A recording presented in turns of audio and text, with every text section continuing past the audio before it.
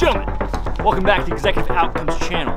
My name is the Talking Net Gator, and today we're talking about the Steyr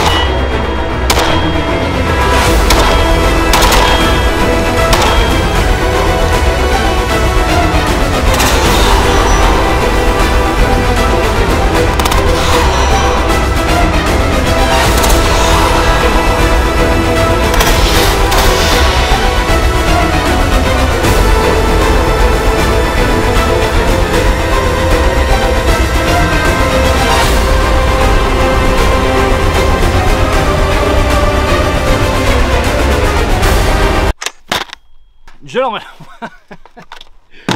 weapon is on. Safe.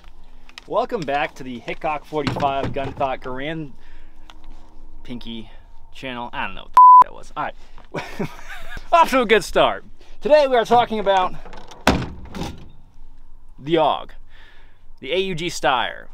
And we could probably like roll some like old like uh like you know that footage you watched when you were a kid and they had like the history channel?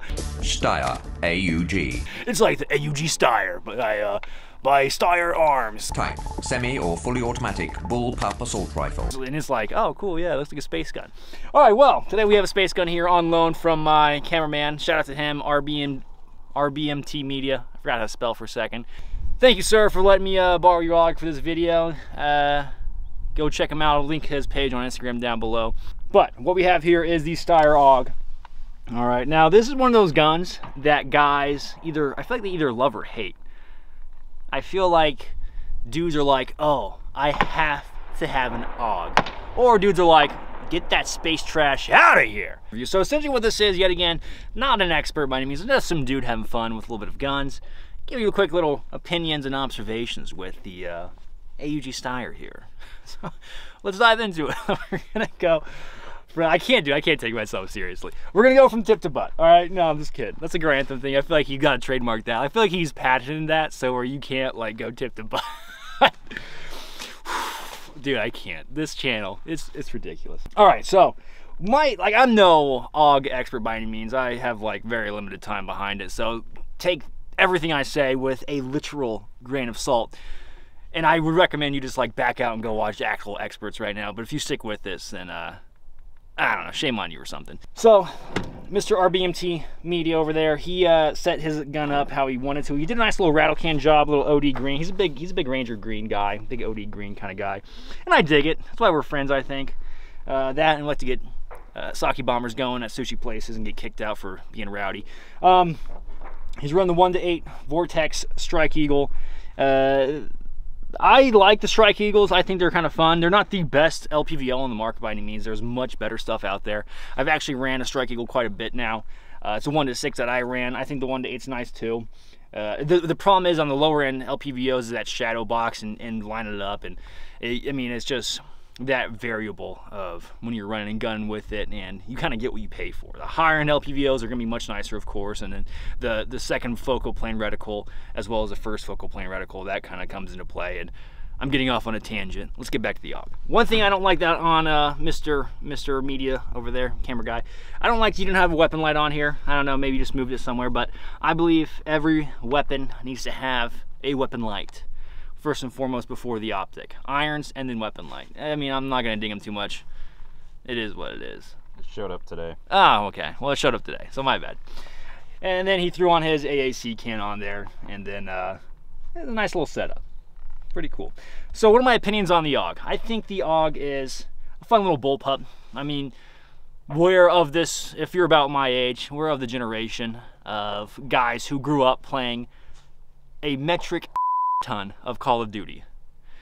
And that influenced you in firearms culture and getting into firearms culture of the progression. Okay, so I mean, I feel like the AUG has probably been like every Call of Duty ever. It's just one of those guns that Hollywood loves. You think of Die Hard. Uh, I always think of like the old history channels Rate of fire 650 rounds per minute. when they run the specials on weapons of countries. You know what I mean? It's like the the AUG out of Austria. I always think of the Australians too. And forgive the background noise, of course. Yet again, we have a lot of other shooters out there in the distance, and they're actually putting in real work while we're making the YouTube video. So let's talk about the gun real quick. So this stock is actually from Austria. I almost said Australia. You almost got me.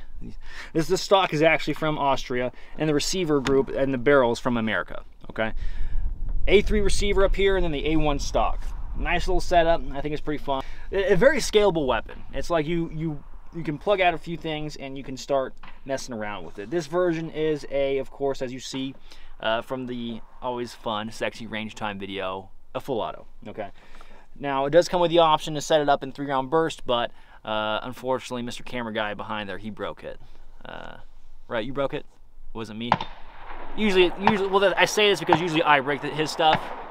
I'll give it a second. All right, one cool thing about this weapon system is the quick swap barrel system. So I, I said system twice, now three times. So currently this is a 16 inch barrel. Now if you want to scale it, make it a little bit shorter, make it a little bit longer, all you gotta do is lock the bolt back to the rear, make sure it's secure so it doesn't slam forward when you start swapping. Otherwise you're gonna have a bad news bears time.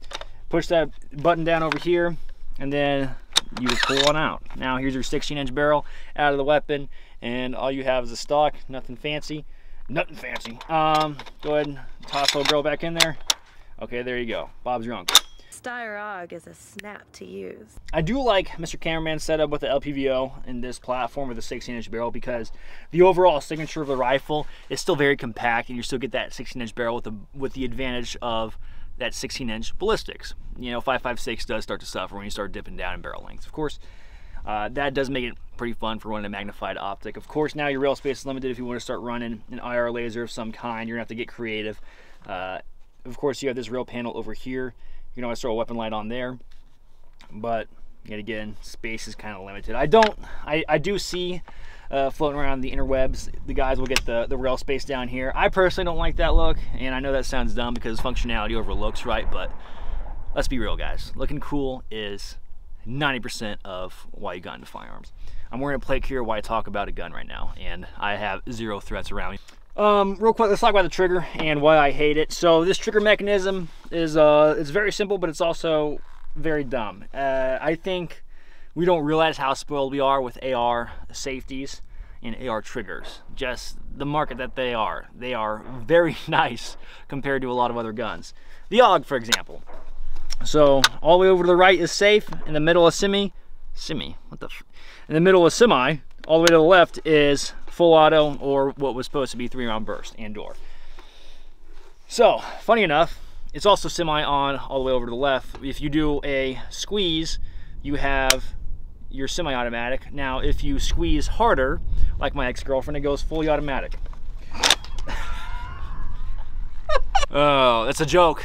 In case my wife watches this episode, we're gonna we're gonna try the trigger squeeze out. Grantham, this one goes out to you. It's not great, but it's not terrible.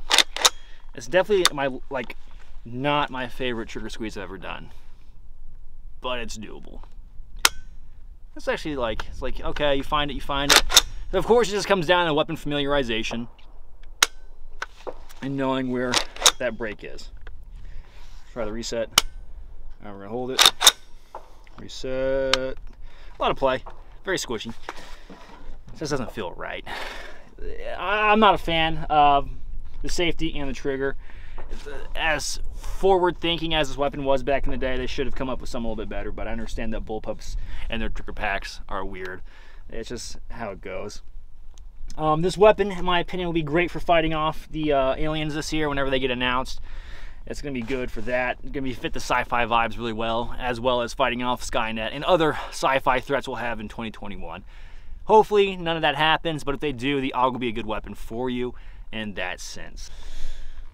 Hey, if you enjoyed this video, go ahead, uh, like, subscribe, dislike it, all that YouTube jargon. Leave a comment down below. It's a sacrifice to the algorithm gods, and I appreciate your sacrifice. Thanks, hero.